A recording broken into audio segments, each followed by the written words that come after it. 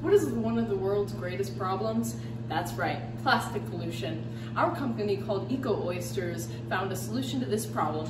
Introducing the Eco Oysters. These are genetically modified oyster mushrooms that can digest plastic 50% faster than the normal oyster mushroom can. These mushrooms would also make a fantastic meal due to how delicious they are. Just listen to one of our customers who purchased them. These mushrooms are very good. They help me reduce my plastic waste and make me spend less on recycling. Our eco mushrooms are so easy to use. All you have to do is spray them with water, and then once they're done growing, you take the mushrooms out and you plant them in your complimentary jar of soil.